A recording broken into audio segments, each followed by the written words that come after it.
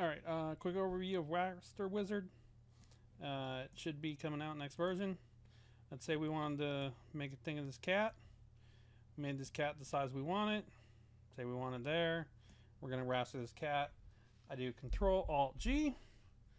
Stalls a little bit and bah, done. Then I press this button and I'm off to the races. Okay, so with a little bit more detail, let's go here. Now, say I want to make it that size. Raster Wizard has a whole GUI. So what it's doing is at every step of the way, it will be running each of these operations. So it would run any crop we set, doesn't work yet. Any, uh, it'll convert to grayscale. We can invert this grayscale. It'll instantly show what it'll be on the flip side. Uh, the resample is to make this the correct size. This jumped because of a bug. I'll have that fixed probably. Uh, contrast, so I can turn off the contrast so we see what the contrast does overall to the thing. If we turn up the brightness, we'll see that it's brighter. And when we zoom in, we'll see that this bright spot here is missing all of the pixels because it'll dither at the end. So if we reduce the amount of brightness, we can see these pixels come back because it's running through the entire process the entire time. So we can see spots that'll look sort of bleached out like say we wanted this white in here we can reduce the brightness until we get the pixels to at least fill in that area. And it'll affect it like that. So it'll do uh, it'll convert the grayscale.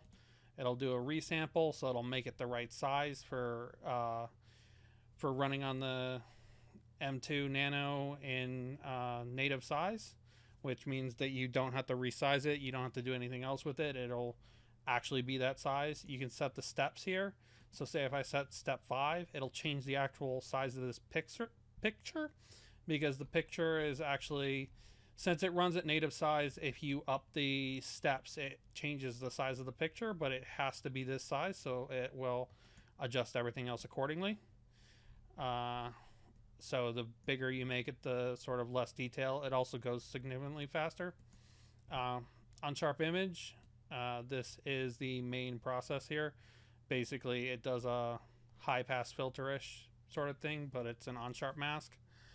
Uh, there is a second one, because this is gold method, where it will do a second sharpen. You can change the radius, the threshold. Uh, but for the most part, you're just going to be using it whatever the recipe is will just be done overtly. So let's go ahead and change it to uh, Stipo. This is a different uh, script, sort of. Uh, by the way, send in any sort of uh, recipes you have.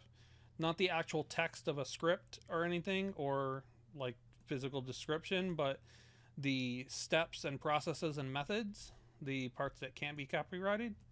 That would maybe help especially if it was for like acrylic, because I don't have anything for acrylic. Uh, tone, here we have uh, this one isn't any, isn't present in the other one, so there's a tone curve. We can adjust this. It doesn't have the multiple uh, points yet. I'll try to add that, but basically you set a tone curve. So you set the various points. Uh, it also has gamma correction. The other one didn't have gamma correction. So you say change the gamma down and it'll do the shifts there. Uh, it did have unsharp, dither, and then uh, so when you're good to go, you run this. Seems much more kind of sharp blacks in the nose area.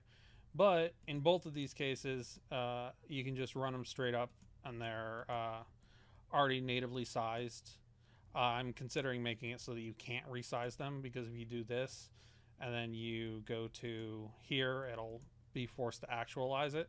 And if you do that on an already uh, processed picture, it'll be a disaster. But uh, hopefully you'll just be able to say, grab a picture, drag it in here, select the picture, make it whatever size you want, then poof, apply this, done raster. All right. Thanks for watching.